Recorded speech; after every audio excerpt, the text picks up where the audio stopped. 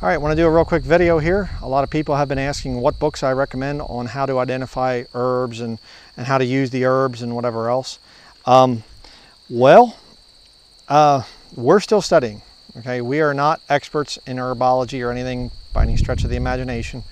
So I can't really give a big list of books that I would recommend at this point. But I will give you the basics of how you get started, okay? Um, pick this one here. This is a Saw this pretty little flower here, as I can keep it still without shaking all over the place. Pretty little flower there. And uh, just a beautiful little plant. And what you do is you look at something like this, you can take a picture of it, or if there's plenty of them around and things, just pick one. And then what you want to do is you want to get a a uh, field guide to them like wildflowers. This one, we didn't have the wildflower here one, but I just picked this one up. This is on birds.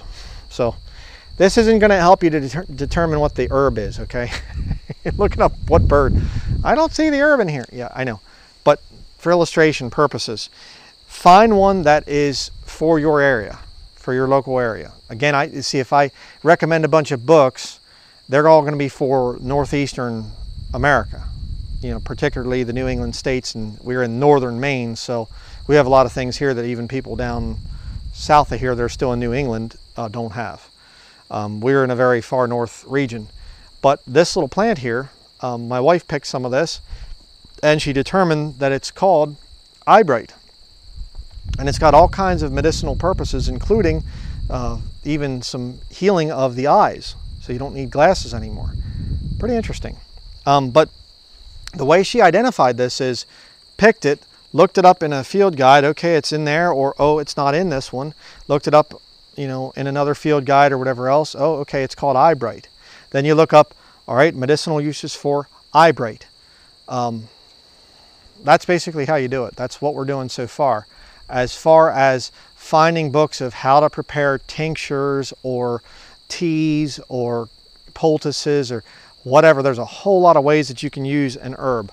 Um, again, I can't really recommend anything there. And, and even if I did, it still is our region. See, so you have to, to wherever you're at. You could be in southwest of America, you know, desert type of area. Um, you could be in California. You could be in Washington State. You could be in Florida. You could be anywhere, and in other countries as well. We have a lot of brethren in other countries. Um, it's going to be different for each of us. So look for field guides of plants in your area.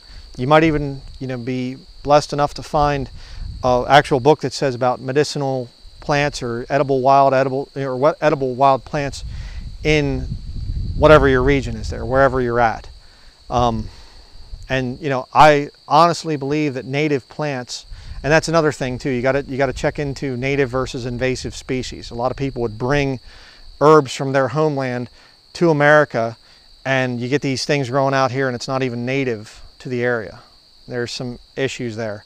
But I believe that God created the herbs to help you in whatever environment that you're in.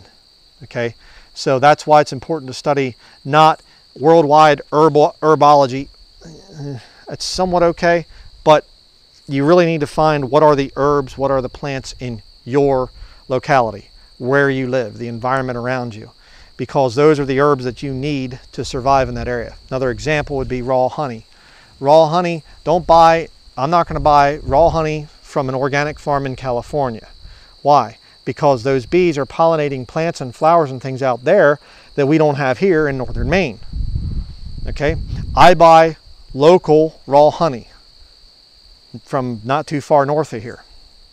Um, that's important. Again, it's going to help you with allergies and things like that. I had very terrible allergic reactions um, in the spring, you know, when you get to really high pollen, and uh, started to eat and, a lot of raw honey from the area here and my allergic problem went away um, because it's basically a natural I hate to use the term vaccination, but it's a natural way of getting the pollen into your system and things so that you don't react to it.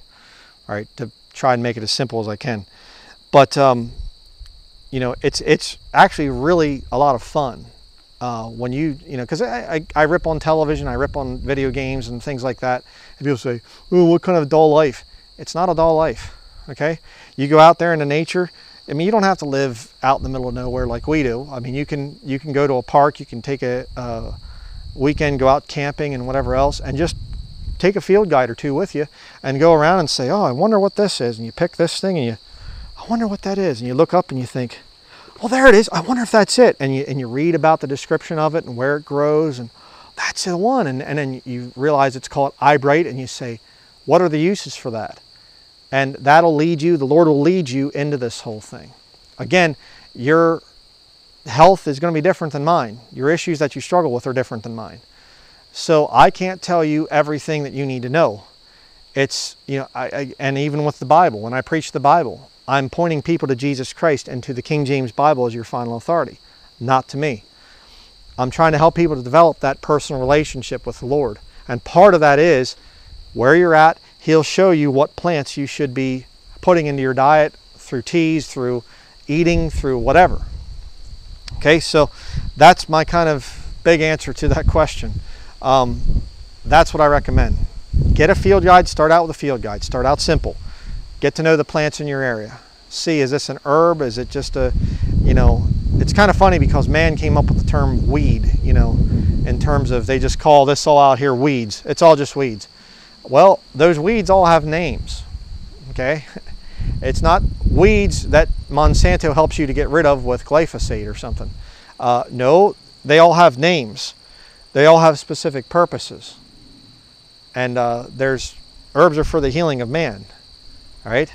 So uh, I hope that answers people's questions. Uh, you know, again, I've seen people write in the comments and they say, I, I have this problem or that problem or whatever else uh, people, let me just give you a very soft rebuke, a very loving rebuke. And I, and I love you, you know, out there, if you're struggling with health things and you're really looking for natural health causes, or, not causes, cures, um, you need to do your own research.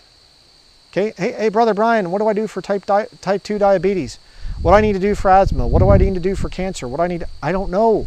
I haven't had those things. Uh, hey, hey, brother Bryan, what do I do for headaches? Okay, I can help you. I've had headaches, bad headaches. Lots of migraines. Hey, Brother Bryan, what do I do for high blood pressure? Oh, well, I can help you there. Okay? I can at least point you in the right direction. But it ultimately it comes down to you. Right? Type in on YouTube in the little search field there, natural cures for whatever you have. Okay? Herbal cure book uh, for the Pacific Northwest, for the Southwest of America National Audubon Society book of flowers for whatever. Get a field guide for flowers, get a field, field guide for trees. There's trees and you know shrubs and things like that that have medicinal cures. It's study. You know what I mean? Well, uh, Brother Bryan, what's the Bible say about such and such? Oh, I don't know. Do you have a concordance? Look it up. Okay you know, uh, uh, hey brother, could you please uh, have the Lord intervene for me and could you tell the Lord to do this in my life? No. If you're saved, you talk to him. There's one mediator between God and men. The man, Bryan, no, no, the man, Christ Jesus. Okay? So, I love you. I do. That's why I make these videos. You know, if I didn't love people, I wouldn't be making these videos.